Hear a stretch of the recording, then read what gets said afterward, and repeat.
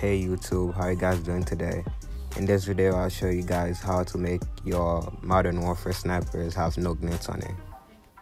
All you need to do is add the variable zoom scope on it and it works on every Modern Warfare snipers. It doesn't work on the Cold War one, so I think that's a glitch with the new update. It might be patched in a few days, but for now you guys can use it. There's also a clip of me sniping at the end. So make sure you hit the subscribe button, get me to 30 subscribers, and hit the like button, and see you guys next time.